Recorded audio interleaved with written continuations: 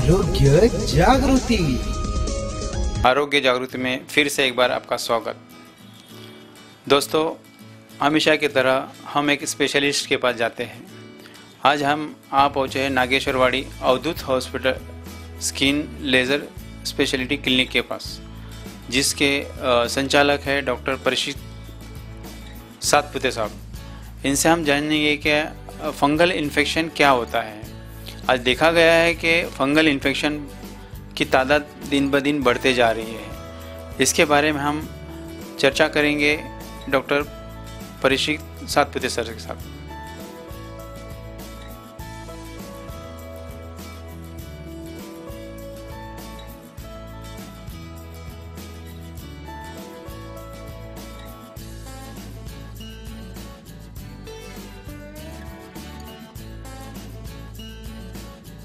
मैं डॉक्टर परीक्षित नंद कुमार सातपुते। मैं पिछले चार सालों से नागेश्वरवाड़ी औरंगाबाद में Avdhoot skin care and laser clinic यहाँ पे त्वचा रोग, सौंदर्य समस्या और गुप्त रोग तज्ञ ये इस हिसाब इस प्रकार से मैं यहाँ पे प्रैक्टिस कर रहा हूँ। तो तो एक फंगस इन्फेक्शन, जिसे हम दांत बोलते हैं या इंग्लिश में हम उसको टीनिया इन्फेक्शन बोलते हैं, मराठी में इसको गच करना बोलते हैं।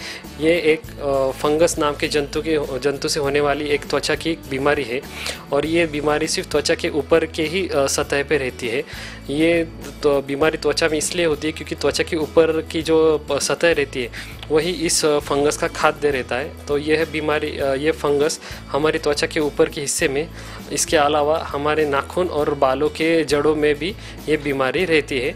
और जैसे अगर हम इसका इलाज नहीं किया तो ये बीमारी अपनी त्वचा से फैलते फैलते फैलते पूरे शरीर और जिसम पे भी फैल जाती है। सर, फंगल इन्फेक्शन के क्या कारण हो सकते हैं?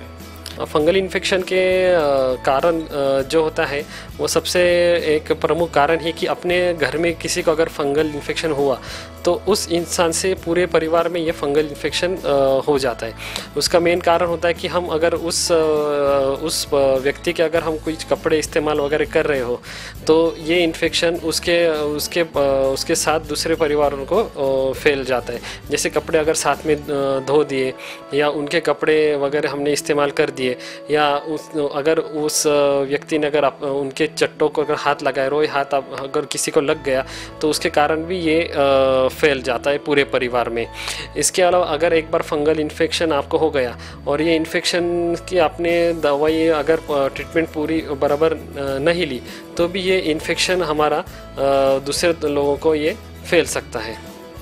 और ये फंगल इन्फेक्शन बेसिकली अगर हमने खुद के साफ़ सफ़ाई नहीं रखी मतलब हमारे रोज़ का नहाना हो गया या कपड़े स्वच्छ सूखे और स्वच्छ कपड़े अगर हमने पहन लिए साफ़ सुथरे तो ये फंगल इन्फेक्शन होता नहीं। ज़्यादातर ये फंगल इन्फेक्शन हॉस्टल में या जो रूम में रहने वाले लोगों में पाया जाता है कि जो कभी कभी उनके गड़बड़ के कारण वो कभी कपड़े धो नहीं सकते या एक दूसरे का टावल वगैरह शेयरिंग कर लेते, उसकी वजह से ये फंगल इन्फेक्शन उनके उनमें उनमें, लोगों में बढ़ जाता है। और ये फंगल इन्फेक्शन यूजुअली जहाँ पे अपने चमड़ी की जो सतह एक दूसरे से मिल जाती जैसे अपने अंडर आर्म्स हो गए, या अपने जांगों में हो गए, या अपने उंगलियों के दो हिस्से, बीच के हिस्से हो गए, उसमें यह फंगल इन्फेक्शन वहाँ पर स्टार्ट होता है।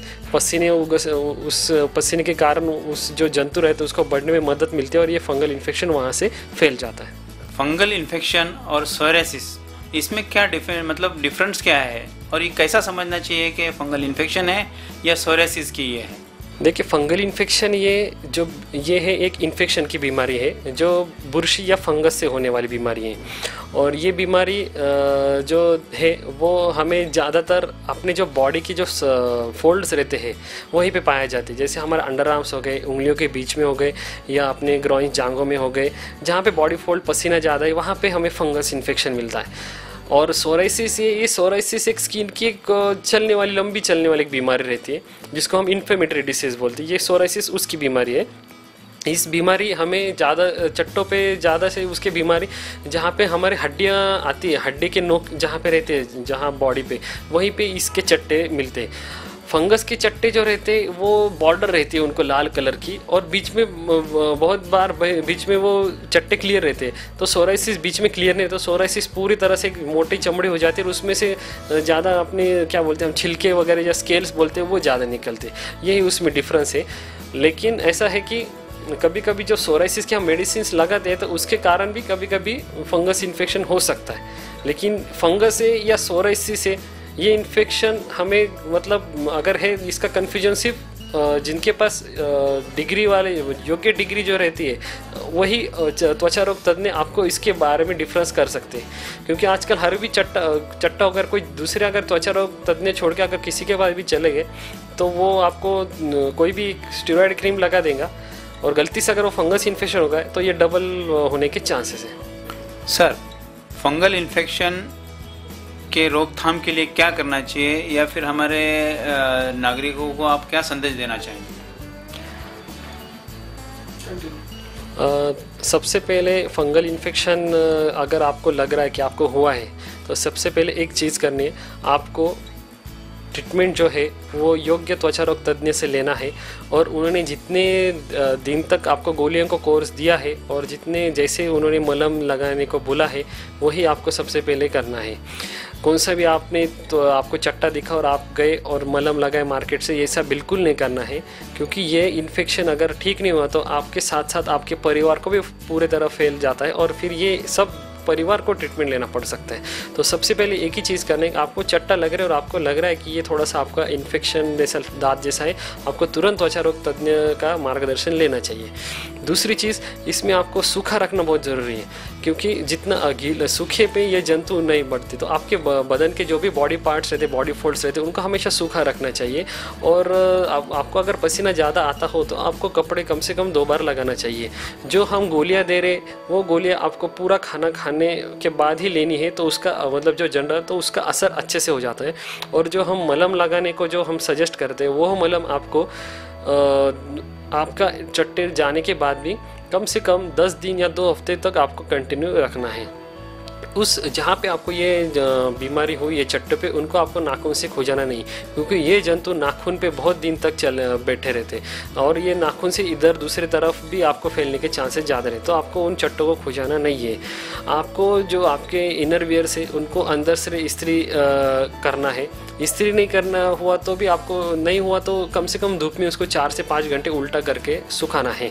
अगर आपको कोई दूसरी कुछ गोलियाँ, दवाई चालू है समझो डायबिटीज़ है बीपी है तो कुछ दवाई या फंगल इन्फेक्शन की दवाई के साथ मेल नहीं खाती तो उनको, उन बारे में आपको डॉक्टर को जानकारी देनी पड़ती है।